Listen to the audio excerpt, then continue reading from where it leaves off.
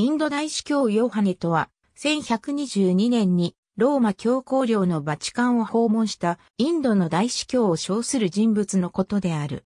実際はインドに大司教座があるはずもなく、保護を語ろうとする者の生没年は不詳である。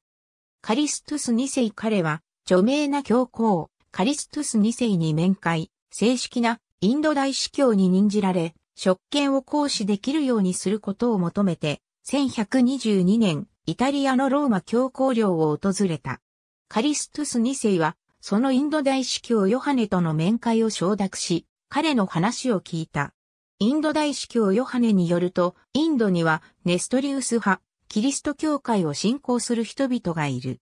彼らは西部のピション川のほとりにささやかにもコミュニティを持っており、大教会やラブラも存在する。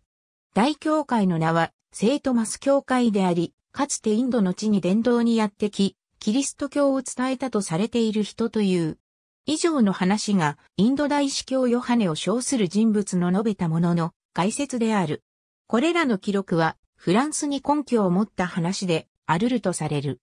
また、このインド大司教、ヨハネの訪問した記録は、不詳であるものの、少なくとも13世紀までは、確固たる史実であるとされてきた、プレスタージョン国王の伝説の出所とも言われている。プレスタージョン国王の伝説は、中央、アジア、またはインドにあるとされてきたキリスト教徒の王国の伝説であり、イスラーム教徒たちを撃破したとされており、インド大司教、ヨハネの伝説と共に語られることが多かった。ありがとうございます。